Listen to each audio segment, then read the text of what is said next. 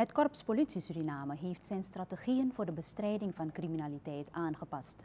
Op die manier moet vooral de verruwde vorm van misdaad drastisch verminderd worden. Ferdinand Welzijn, minister van Justitie en Politie ad interim, heeft vandaag op een persconferentie uitleg gegeven over het plan dat geïntroduceerd zal worden.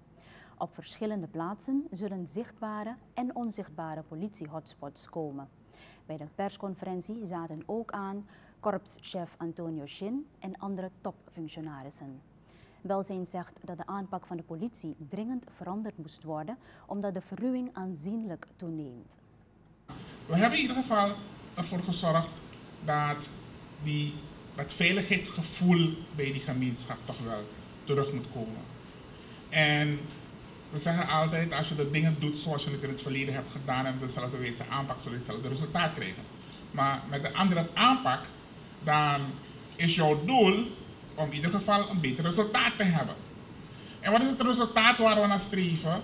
Die gemeenschap moet zich veilig voelen. Suriname is nog steeds gecategoriseerd als een van de landen waar het relatief veilig is te vertoeven.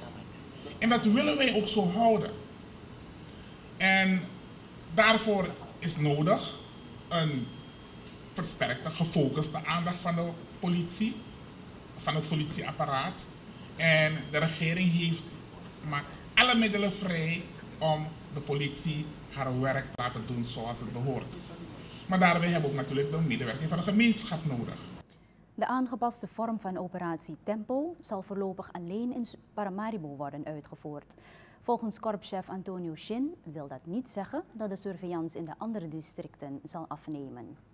Paramaribo is de hoofdstad uh, van Suriname en de meeste activiteiten vinden ook plaats in Paramaribo. De districten hebben natuurlijk een reguliere, dat heb ik al aangegeven, regulier eh, patroon en programma wat betreft de veiligheid en uh, de verhoogde paraatheid in, in de maand december.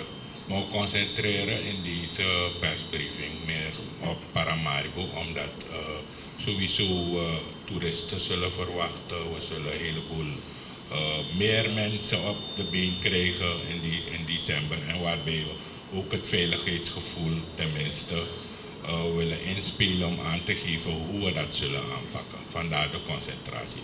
Maar niet dat we de regio's verwaarlozen. Korpschef Antonio Shin vandaag op een persconferentie van het ministerie van Justitie en Politie. De politie zal de komende tijd zichtbaarder zijn op diverse plaatsen in Paramaribo. Dit moet leiden tot vermindering van de criminaliteit.